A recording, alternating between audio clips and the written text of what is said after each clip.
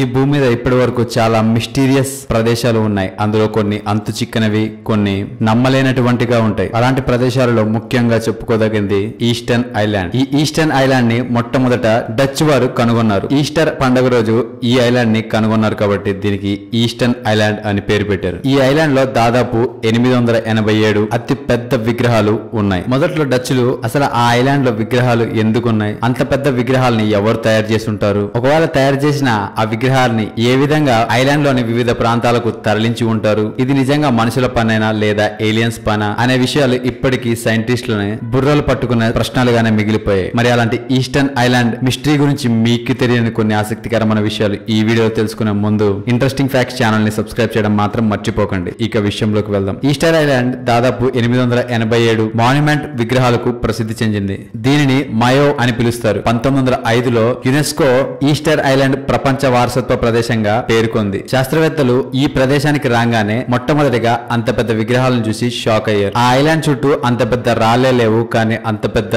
విగ్రహాలు ఏ విధంగా తయారు చేశారు అనే ప్రశ్న వారిలో మొదలైంది. అప్పుడు వారు పరిశోధనలు చేసి కనుగొన్నది ఏంటంటే ఇక్కడున్న బొమ్మలన్నింటినీ అగ్నిపర్వతం యొక్క బూడిదని కంప్రెస్ చేయగా వచ్చే టఫ్ అనే పదార్థంతో ఆ బొమ్మల్ని తయారు చేశారని నిర్ధారించారు. ఈ ఈస్టర్న్ ఐలాండ్ సదరన్ పసిఫిక్ ఓషన్లో చిలీకి రెండు వేల మూడు వందల మైళ్ళ దూరంలో ఈ ఈస్టర్న్ ఐలాండ్ ఉంది. మోలీ అని పిలిచే ఎనిమిది వందల ఎనభై ఏడు పెద్ద స్టాచ్యూలు ఈ ప్రదేశంలో కనుగొన్నారు. ఈ బొమ్మలన్నీ ఆ ఐలాండ్ చుట్టూ గ్రౌండ్లో పాతి పెట్టబడి ఉన్నాయి. మొదట్లో ఈ బొమ్మలన్నీ ఉత్తి తలలు మాత్రమే ఉన్నాయి అనుకున్నారు. కానీ రెండు వేల పన్నెండు మేలో జరిగిన తవ్వకాల్లో ఈ బొమ్మల యొక్క బాడీలు మొత్తం భూమిలో ఉండి తలలు మాత్రమే పైకున్నాయని తెలుసుకున్నారు. ఈ బొమ్మలు చాలా పొడుగ్గా కూడా ఉన్నాయి. ఇక్కడ ఉన్న అతి పొడవైన బొమ్మ ముప్పై మూడు అడుగుల వరకు ఉంది. మరియు వీటి యొక్క బరువు ఎనభై ఒక్క వేల కిలోల బరువు ఉంది. ఈ బొమ్మల్ని పదమూడవ శతాబ్దంలో అక్కడ నివసించే తెగలవారు తయారు చేసుకున్నారు. అక్కడ ఉన్న బొమ్మల్లో ఒక్కటి తప్ప మిగతావన్నీ సముద్రానికి ఆపోజిట్ సైడ్లో ఫేస్ని పెట్టి ఉంటాయి. వీటిని ఇలా అక్కడ పెట్టడానికి కారణం ఆ బొమ్మలు తమ ఐలాండ్ మొత్తానికి రక్షణగా ఉంటాయని అక్కడ ప్రజలు భావించేవారు. ఆ మిగిలిన ఒక్క స్టాచ్యూ మాత్రం వాటికి క్వైట్ ఆపోజిట్గా నుంచొని కాకుండా కూర్చొని ఉంటుంది. ఆ ప్రదేశాన్ని అక్కడ ప్రజలు చాలా పవిత్రమైన ప్రదేశంగా అప్పట్లో భావించేవారు. ఆ ప్రదేశాన్ని అహువా అకివి అని అంటారు. దాని తర్వాత శాస్త్రవేత్తలకి ఇంకో డౌట్ ఏమొచ్చిందంటే అసలు ఇంత పెద్ద బొమ్మల్ని తయారు చేశారు గాని